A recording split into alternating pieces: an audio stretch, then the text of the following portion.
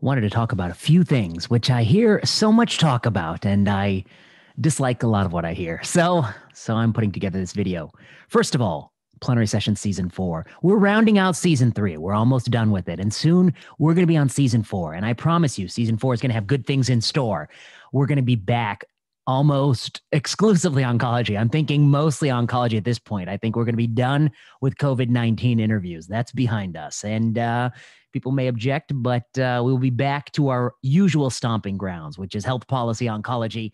We took a detour for COVID. We had to do it. What else could we do? We were reading and hearing so many things that I think were one point of view on the broad spectrum, one point of view. And we didn't hear other points of views or people who wanted to use a word like trade off, pesky words like trade off.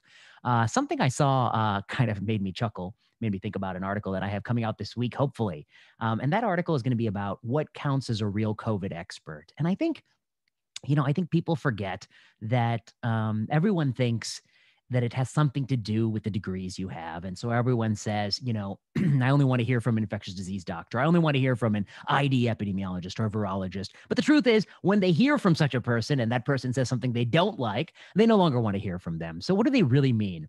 I think we have a personal sort of scale of risk. Uh, on one extreme, it's the people who are very laissez faire, very cavalier about COVID. They're out there uh, as if it doesn't exist. On the other extreme, it's people who literally wear the mask when driving alone in a car. And you may doubt that happens, but I assure you it happens. I've seen it on the highway here in California. Um, something in between is where I think many of us fall. Some of us have been willing to get together with people in backyard barbecues. Some of us uh, go to such things and are unwilling to lower the mask. Others of us do. Some people have been willing to meet with people privately and indoor gatherings throughout this whole time. And I mean, wherever you fall on this range, I think so often the expert you like is the expert who has the same risk aversion or risk tolerance as you do. And, and that's really what you're saying. Um, but policy is something different than personal beliefs and what you would do for yourself. Policy is something where there is a right answer. And in this article, I talk about principles of policy that transcend any specialty. Uh, you know, you can be a pulmonologist or you can be a historian and you can get these principles, and you can be an epidemiologist and and not have any clue what I'm talking about. So it doesn't have to do with any tr- specialty. Has to do with people who understand a few core principles. Those principles are uncertainty. Those principles are Human beings love to believe that we can shape our futures in dramatic ways, but most of our interventions have effect sizes less than what you think they have. Um, and I think that will, re- will relate to a couple things we'll talk about today.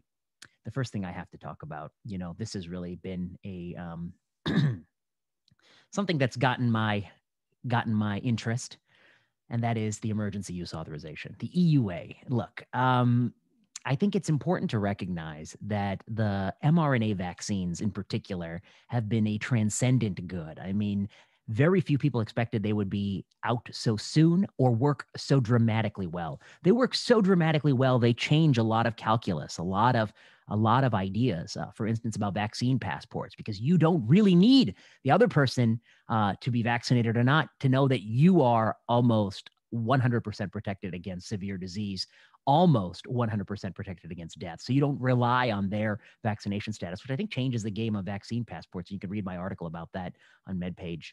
Um, but I wanted to talk about EUA. Uh, EUA is a type of regulatory uh, authorization it is the emergency use authorization. It is not an approval. It's not a biological licensing agreement. It's not a traditional BLA.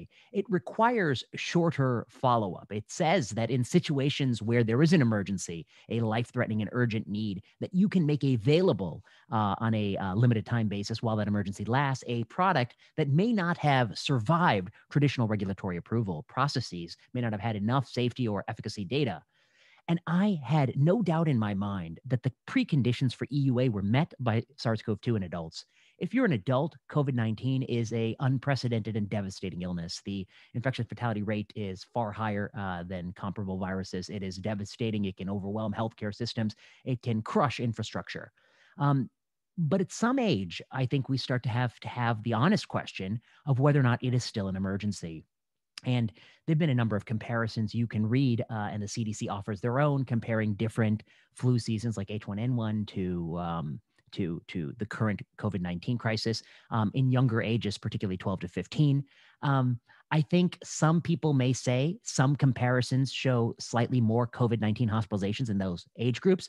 There are other ways you can slice the data and find much more comparability, but that's either way is is is missing the point which is that it has to sort of be an order of magnitude difference in my mind to constitute an emergency uh, to, to to justify the use of this lower regulatory standard um, and I want to walk you through a little bit of my thinking as to why that is the case. We outlined it uh, initially, Wes Pegden, Stefan Baral from Johns Hopkins, and myself um, in a British Medical Journal commentary uh, on the opinion site. Uh, there's another nice editorial about why kids uh, shouldn't get EUA, but rather traditional authorization, and perhaps only after uh, older people globally are vaccinated. I've written at least two things now, one in the Atlantic and one in MedPage Today, about the need to vaccinate older folks globally. They have at least a 3,000 times increased risk of death uh, from this virus, probably even more, maybe 10,000 times or 100,000 times if you factor in uh, when their healthcare system collapses in places like India, the CFR goes through the roof. Uh, when you factor in um, that we are in a much better place now than we were several months ago in this country. We have a huge chunk of American adults vaccinated, and we have uh, plummeting case rates. And that's going to protect uh, the people in our population who have not yet been vaccinated. So you put that all together, and I think it is a no brainer.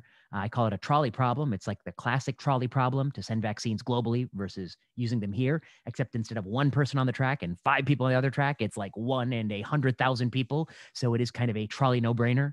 Um, but I want to walk through a little bit about the EUA in this age group because I thought it was, um, it's quite interesting to me at least. So let me share my screen.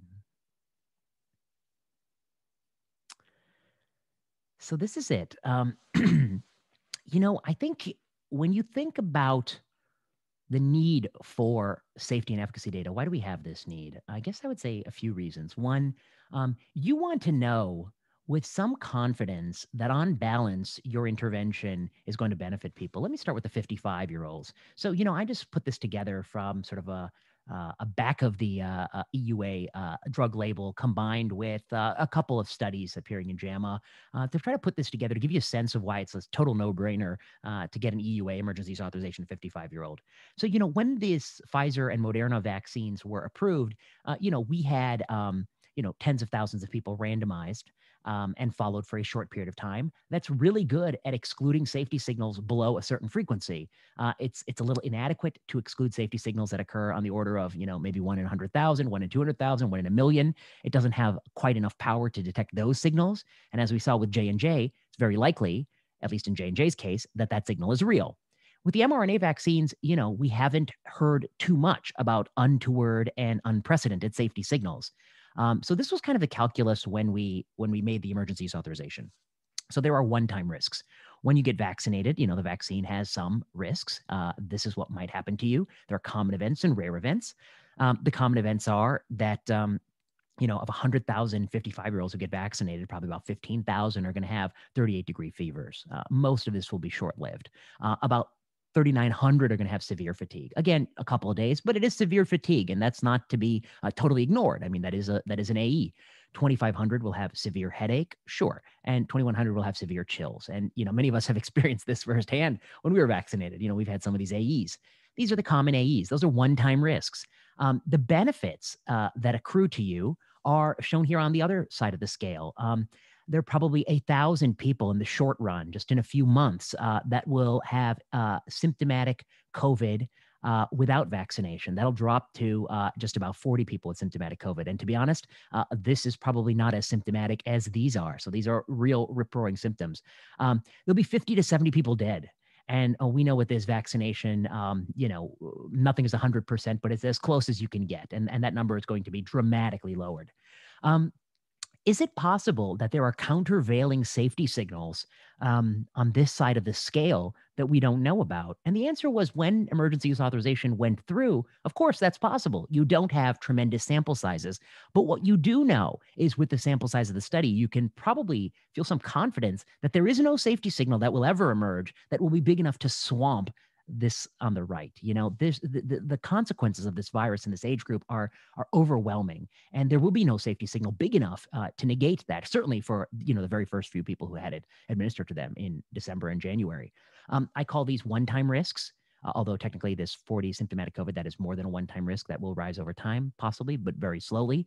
Uh, uh, I, I, suspect um, these are risks that truly rise over time and are tied to population levels of spread. And rise can slow, of course, with um, as more people get vaccinated.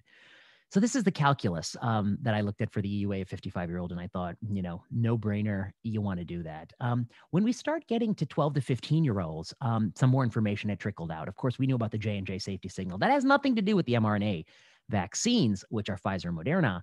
Um, but we also heard uh, some reports that there have been, uh, you know, perhaps uh, a couple dozen perhaps a few more instances of myocarditis uh, that have been um, flagged by the Israeli uh, health authorities. Um, these have occurred, to my knowledge, preferentially in men of a certain age, younger ages, teenage and uh, and young adulthood. Um, and whether or not it's vaccine related or not is unknown. Of course, myocarditis does occur with some frequency, um, but the putative rate of this uh, post vaccination. Uh, you know, we're talking about ballpark, you know, one in 80,000, one in 100,000. Uh, and it is currently being investigated by the European Medicines Agency.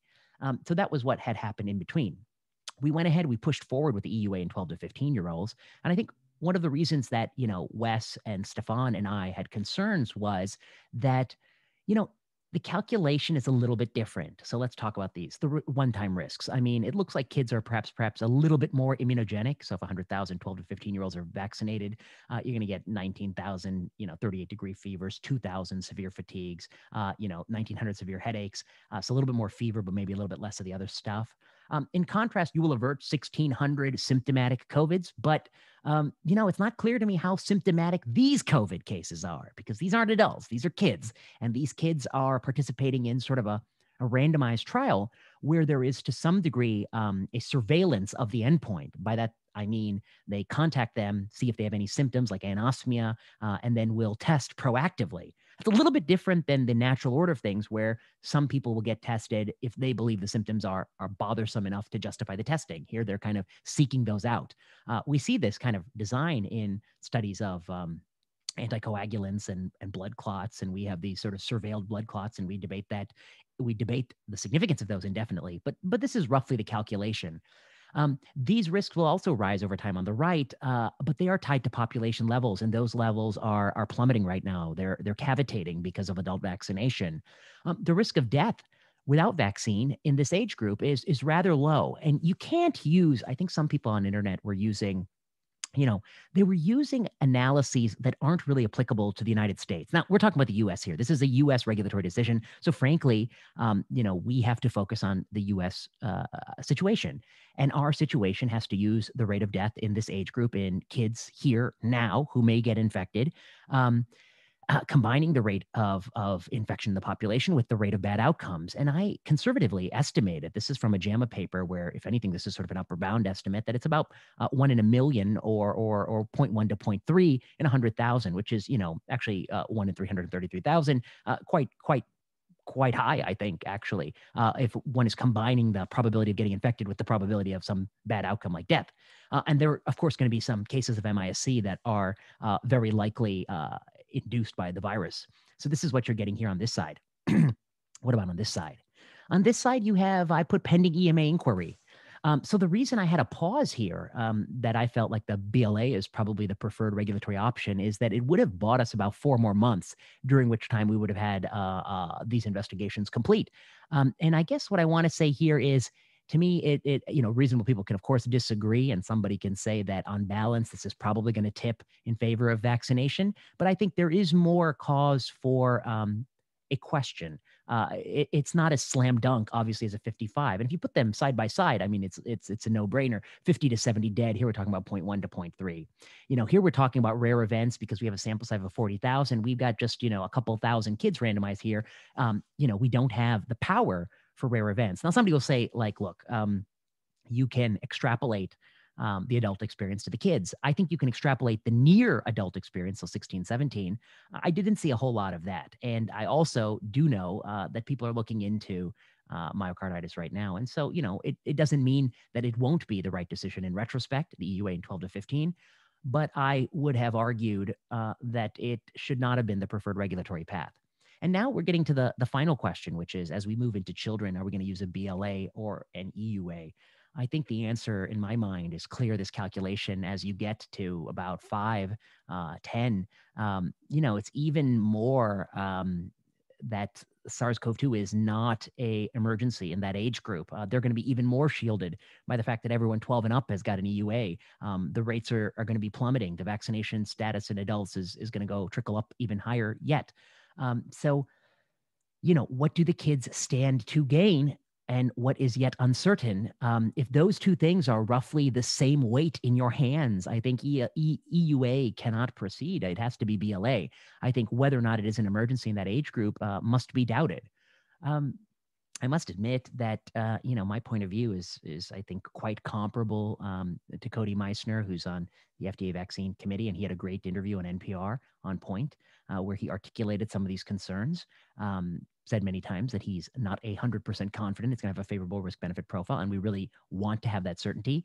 Um, one of the points he makes rather eloquently is that uh, what's at stake is not just this disease; it is literally uh, confidence in vaccination programs and vaccination regulation. Um, you want to have that confidence that regulators are always erring on the side of uh, really knowing the risk benefit calculus tips in favor. And you don't want uh, people uh, cutting it too close for the simple reason that there may be an unprecedented safety signal. It may emerge at a certain age group uh, that you don't yet see. And if that does occur, you may have an existential crisis on your hands. We're in such a divided place, um, such a, a, torn place, um, that people may not be able to, to really process that. And I, I do worry about sort of that existential threat. Um, the last thing I wanted to talk about, last thing I wanted to talk about was um, the CDC's mask guidance. You know, um, I'll share you one more slide because it cracks me up cracks me up what they're what these people are up to. Okay, how it started, how it's going, how it started. You know, in January, I wrote my op-ed in MedPage Today where I said, "Look, um, you know, is it okay to relax restrictions? Is it okay to throw away the mask after vaccination?" I say, "Yes, of course." Why did I say that? I mean, you know, we already at that time had a host of information, which you can read in the commentary, that suggested uh, that it's going to be rather safe. But more to the point, um, we didn't have any evidence, and I don't think we do, uh, that after a group of people is administered a vaccine with a 95% relative risk reduction, that there is a on a respiratory virus, that there is a continued benefit of of masking. Um, and uh, and uh, and of course, this was labeled by someone on Twitter, uh, somebody who themselves has a very uh, uh, skewed point of view and distorted point of view. Um, they write, "This is dangerous misinformation, extremely negligent." Of course, hot rhetoric for someone who's eating crow right now, because of course the CDC says, you know, it's totally fine to go vaccinated. Uh, people to throw away the mask uh, indoors, outdoors. Um, you know, you can have get-togethers. They said that a few weeks ago. Um, so, you know, of course, that's the case. Um, saying otherwise, I think, was a distortion of science. Um, so, what do I want to say about this new guidance? Um, you know, people are really scared, um, and their concern has has uh, has reached Twitter. Um, you know, Twitter probably should have gotten an EUA to treat COVID-induced anxiety because that appears what it's, it's primarily used for these days. Um, and and and what are their concerns? Their concerns are, of course, um, stories about you know what if scenarios. Um, I think that's not the way to think about policies. You know, the way to think about policies is to say, um, is it plausible that continued enforcement of this policy is going to have some aggregate benefit? Um, and it's difficult. It's very difficult to believe that is the case. So one of the things you have to that goes into that calculation is um, one, you have to you have to have some sense of what do you think the effect size of, of community mask use is, and how is that related to the baseline case rate? So what does the effect size, what happens to the effect size as as the rate with which people are carrying the virus is, is plummeting? What happens to the effect size of the intervention. We actually never measured the, the effect size of the intervention. We were rather indifferent to it. We just assumed it was really good. I'll tell you one thing uh, it's probably not 95% because that's what we see from the vaccine. It is way, way short of that. Um, then there's the second level, which isn't just the intervention. It's not wearing the mask. Intervention is the mandate to wear the mask. A lot of people are going to do it anyway. There's going to be this inertia. We saw from this Texas data that just came out from NBER that after the governor rescinded the mask mandate, you see actually very little difference in mobility um, uh, after the government restricted uh, or removed the restrictions on business, businesses. And you actually see no increase in COVID 19. Um, you also see no increase in economic productivity. It appeared that the mandate was little more than um, a, you know, a gesture. It was just a government uh, re- imposition uh, that actually didn't affect behavior. And I guess whether you're a conservative or a progressive like myself, um, if somebody imposes a restriction and it doesn't actually impact behavior at all and it doesn't change any outcomes, I think we should agree that those sorts of government restrictions are not useful. They don't do anything. And apparently, this is what this NBER paper, I think, makes a compelling case um, for the Texas mask mandate. So back to this. What do I think is going to happen? Um, I think it's much hand wringing over nothing. I suspect we're going to continue to be on our trajectory of falling cases. Um, I suspect that people who uh, are really concerned that this is a problem, um, they probably should have been advocating some point in this entire uh, pandemic that we generate some data.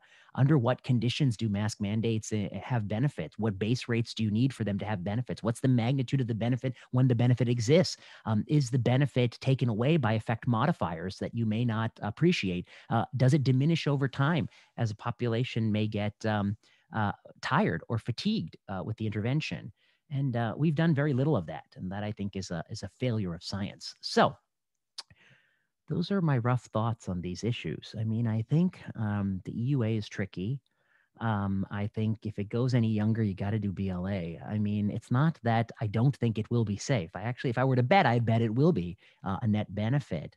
Uh, but what I do think is the challenge is that you don't have an emergency to justify that. And there are ongoing, I think, initiatives to better suss out the safety. And we want those to uh, complete.